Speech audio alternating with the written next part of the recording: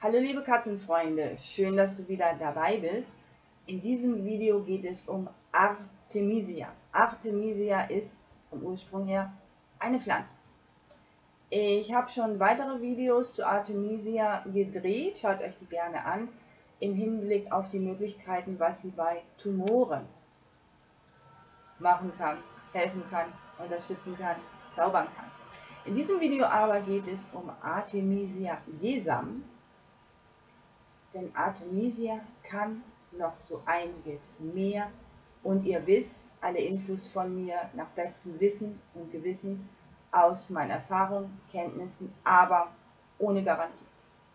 Ich bin Kirsten Schulitz, Homöopathin, Naturheilkundlerin und Psychologin für Katzen sowie Autorin diverser Katzenratgeber. Ihr findet mich auf meiner Internetseite katzensprechstunde.de.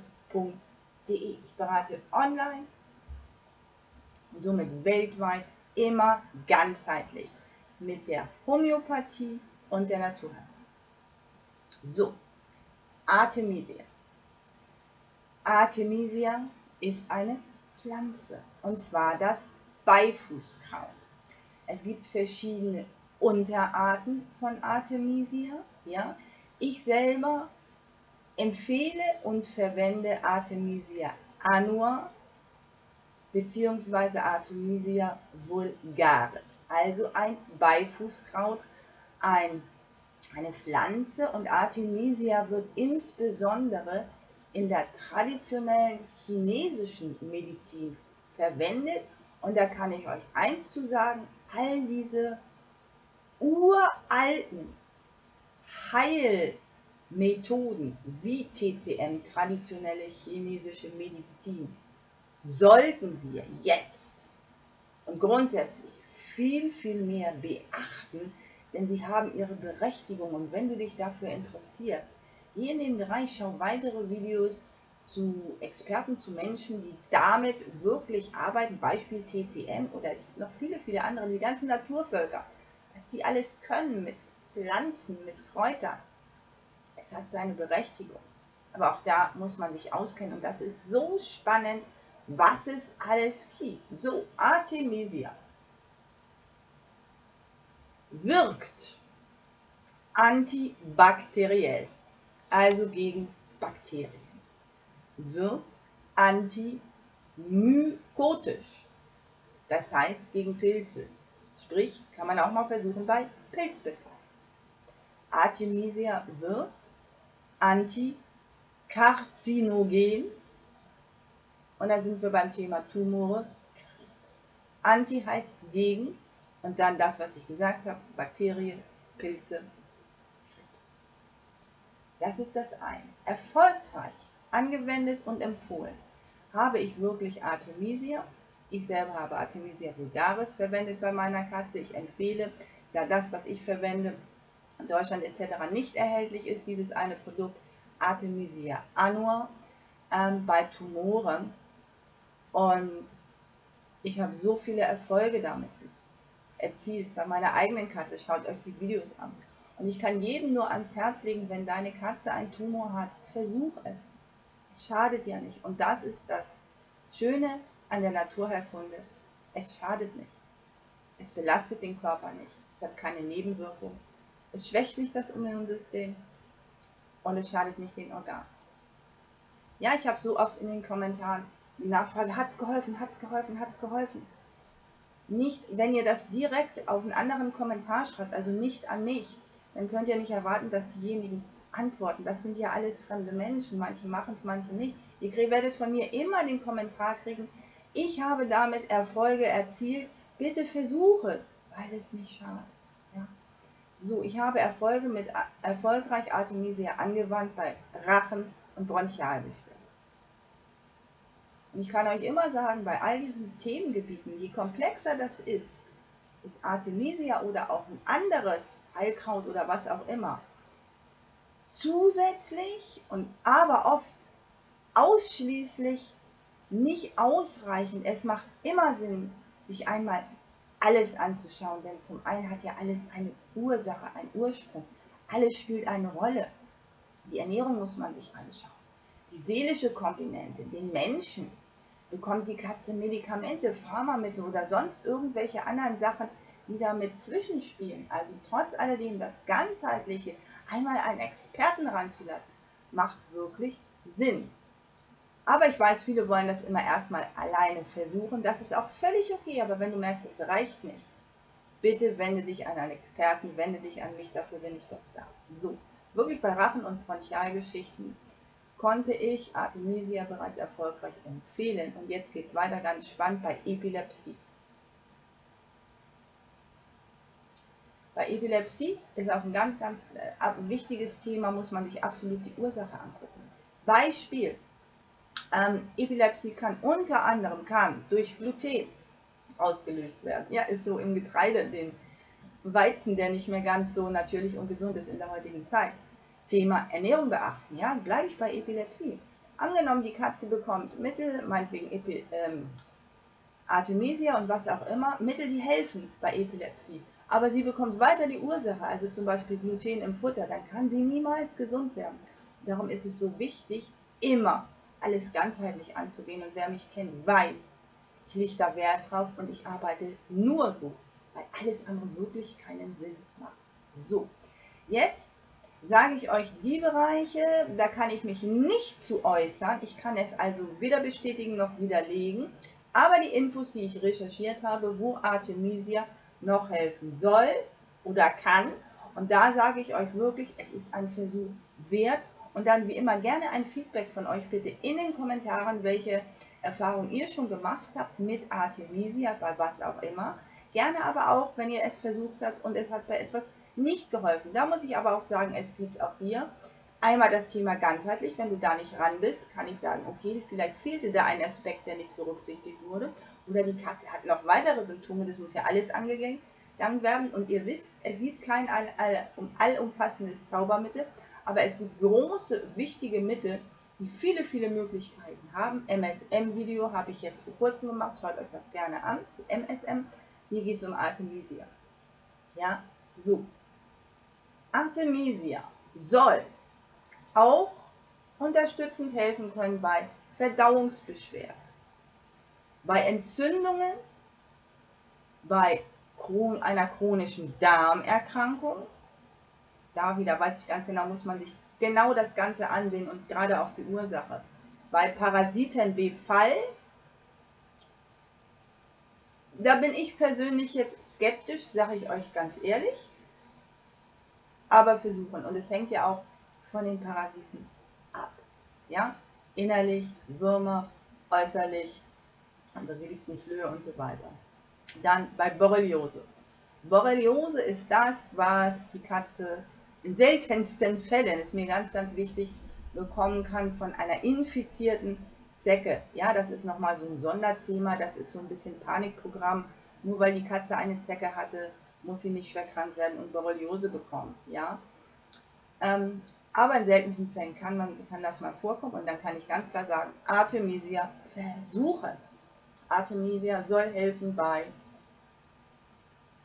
das ist meine eigene Schrift lesen, Hirnhautentzündung, Thema Entzündung und Virusinfektionen wie Herpes, Gürtelrose, Malaria. Versuche. Ohne Garantie von mir, aber darum ist die Vernetzung jetzt so wichtig, weil wir durch dieses Kollektiv gemeinsam ja dazulernen, was wirklich stimmt von den Informationen und was sich nicht so bestätigt. Die ersten Sachen, die ich eben erwähnt habe, wo ich sage, da habe ich positive Erfahrungen gemacht, habe ich erwähnt, Tumore, Rachenbronchialinfekte, Epilepsie. So. Das sind die verschiedensten Sachen, wo Artemisia helfen kann. Und wenn ich alleine sehe, dass Artemisia Tumore heilen, platt machen kann, dann ist Artemisia ist für mich, wenn man die anderen Videos dazu gesehen hat, so ein Zaubermittel bei Tumoren, wie gesagt, wieder keine Garantie. Es mag Tumoren geben oder Fälle, wo es nicht reicht, nicht hilft. Da muss man sich aber wieder alles gesamt ansehen. Das kann ich ganz klar sagen. Also wenn ich die Aussage kriege von jemandem von euch, meine Katze hatte einen Tumor, hat Artemisia bekommen, hat leider nicht geholfen, dann ist das keine allumfassende Aussage. Damit ich das wirklich einschätzen könnte, müsste ich einmal alles wissen. Vielleicht wurde auch ein falsches Artemisia gegeben oder falsche Gaben. Oder vielleicht hatte die Katze noch weitere Beschwerden wie Organbeschwerden. Ja, und dann ist so eine Aussage nicht allumfassend. Aber dennoch ist es insgesamt hilfreich und zwar natürlich vor allem dann, wenn es geholfen hat. So. Ähm, Artemisia gibt es in, wie immer, ein reichhaltiges Angebot. Ja? Schaut, mir, schaut euch bitte das Video an, äh, Artemisia im Titel. Diese zwei Mittel empfehle ich. Da erwähne ich einmal das Artemisia vulgaris, das ich genommen habe und auch hier bei mir immer zu Hause habe was ich hier auf Teneriffa bekomme. Ich lebe auf Teneriffa, beziehungsweise im spanisch sprechenden Bereich. Da es das in Deutschland, Schweiz, Österreich etc. nicht gibt, empfehle ich Artemisia annua und ich habe eine Ko Kooperation mit der Firma Waldkraft und dieses Artemisia, den Link packe ich euch unten rein, empfehle ich euch, weil ich von meinen Kunden weiß, dass es geholfen hat, insbesondere bei Tumoren, aber auch bei Rachenbronchialinfekten habe ich es erfolgreich empfohlen. Ganz wichtig ist, bitte nicht mit Alkohol gebunden. Ja? Also Artemisia, die Pflanze, ist immer mit etwas gebunden, um es haltbar zu machen, um es geben zu können. Alkohol ist überhaupt gar nicht gut für Katzen. Finger weg davon. Ja, wenn ihr ein anderes Produkt sucht, macht das gerne. Schaut ganz genau drauf, was ist da drin. Ist da Alkohol drin? Ist es nichts für unsere Katzen wählt mein Rat das Angebot auf Glycerin-Basis bei Waldkraft. Ich selber, als ich das Artemisia vulgaris für meine Bonnie benutzt habe, habe auch ähm, eine Darreichung auf Glycerin-Basis gewählt und das vertragen die Katzen. Ja, ich habe es vorher recherchiert und meine Bonnie hat es wirklich geheilt. Das ist alles eine flüssige Form, die man tropfenweise dosieren kann. Und jetzt kommt es zur Dosierung.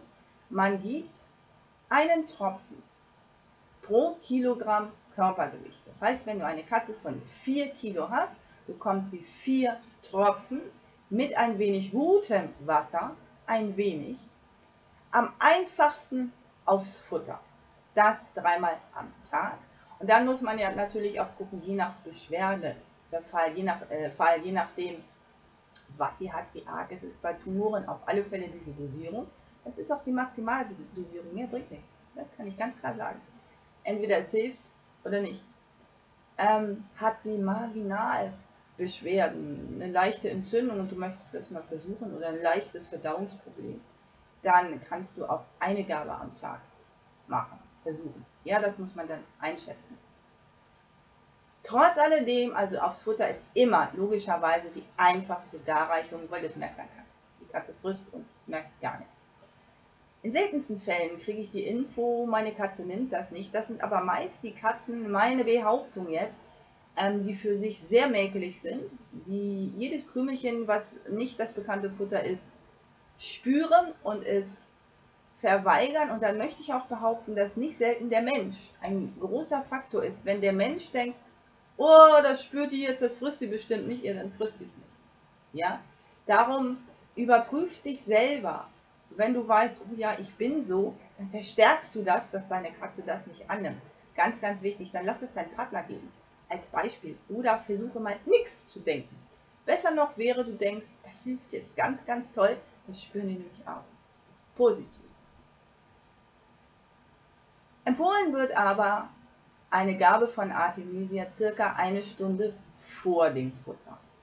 Das wäre jetzt das Optimale. Ich kann euch aber sagen, ich empfehle anders in meinen Beratungen. Ich habe es bei meiner Bonnie auch anders gemacht. Das heißt direkt aufs Futter. Alles war gut. Okay? Aber ich gebe euch diese Info gerne weiter, wie du es dann machst.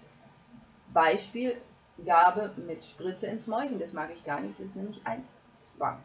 Oder du nimmst eine Minimalportion Futter der Artemisia drauf, dann ist aber viel Wasser dabei.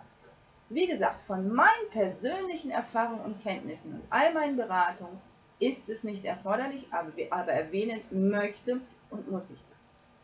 Dann wird auch öfter gefragt, muss ich zusätzlich Eisen geben? Wurde ich so oft gefragt, weil man das überall liest.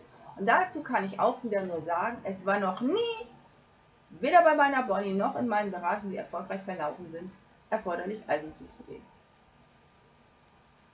Ähm, dann möchte ich jetzt nochmal wirklich auf den Punkt kommen, versucht es gerne selber. Das ist immer mein Ansatz. Dafür habt ihr meine Videos, meine Internetseite und all meine Bücher. Aber wenn es komplexer ist, wenn die Katze chronische, lange, lange, lange Beschwerden hat, mehrere Beschwerden hat, Medikamente bekommt, du gar nicht weißt, was ein gesundes Futter ist, also bitte, bitte, bitte, geh da ganzheitlich ran. Versuch das gerne selber. Da musst du einfach alles durchgehen und einfach in Anführungszeichen. Ich berate seit 2001, also seit 23 Jahren und inzwischen weiß ich natürlich, was ich alles abfragen muss, was wichtig ist, was man berücksichtigen muss. Wende dich an einen fachkundigen Experten, der ganzheitlich arbeitet und der Ahnung hat von vernünftigen Therapieformen. Wende dich gerne an mich. Das ist meine Berufung, das ist mein Leben, ich habe die Erfahrung, ich habe die Kenntnisse. Und ich starte immer mit mindestens 100 Fragen, um das Gesamtbild zu bekommen.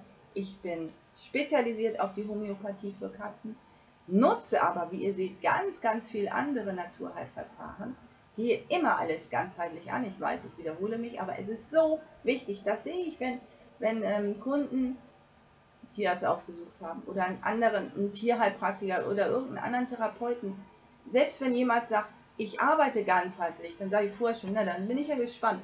Und dann schaue ich mir an, was da kommt. Und ganzheitlich ist nicht nur noch ein weiteres Ding berücksichtigen, nein, alles. Wie man hat, dann ist es schon mal gut. Alles ist alles. Wirklich alles. Und er hat immer im Kopf, ich starte mit weit über 100 Fragen.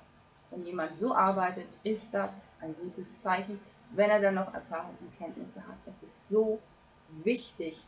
Und schnell mal kurz ein Mittel gratis empfehlen und eine schwerkranke Katze wird gesund. Gerne. Wenn es hilft, gerne. Aber meistens reicht es einfach nicht. Und das ist doch irgendwie auch logisch und verständlich. Also, Artemisia auch ein Mittel mit ganz vielen Möglichkeiten. Definitiv immer ein Versuch wert.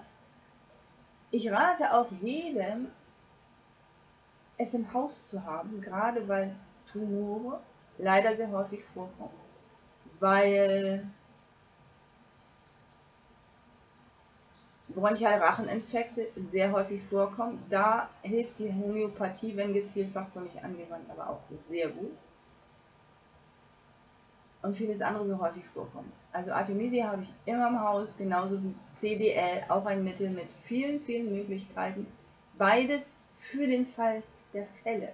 Einfach jetzt mal so pauschal mein Rat an euch.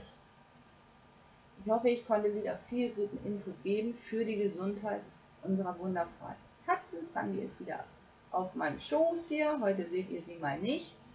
Und leite das Video gerne weiter, wenn du von jemandem weißt, der, den das auch interessieren könnte. Es ist ja ein grundsätzliches Thema. Es muss ja nicht gerade irgendwas Akutes sein, wo es passt, dann auf alle Fälle. Aber all diese Informationen, die wir jetzt bekommen, also ihr wisst, ich sauge das auf, ich liebe das. Aber wichtig ist, selber austesten, selber Rücksprache halten. Ist das wirklich so oder ist das eine, eine übertriebene Information? Ganz, ganz wichtig. Nur weil man irgendwo irgendwas liest, muss das noch lange nicht wirklich so sein. Das ist so wichtig zu wissen. Danke dir fürs Zuhören. Ich hoffe, es geht deiner und deinen Katzen gut und dir natürlich auch. Und ihr wisst ja, Infos dazu, wenn du mit Artemisia Erfahrungen gemacht hast, gerne in den Kommentaren, gerne für sich ein netter Kommentar, gerne Daumen hoch, Abo und ihr kennt das alle. Und ich freue mich immer, dafür jetzt schon im Vorwege ein Dankeschön über einen Super Thank über eine Basismitgliedschaft und für die, die richtig schmackos ins Detail gehen wollen, die von mir praktisch ausgebildet werden möchten, geht in den Premium-Bereich, da kriegt ihr Detailwissen, Detailinfos, damit ihr selber auch viele, viele Katzen gesund machen könnt oder einfach mehr wisst für eure, eure eigene Tiere. Liebe Grüße von Teneriffa, Schnur, Schnur, Miau, deine und eure Kirsten Schule.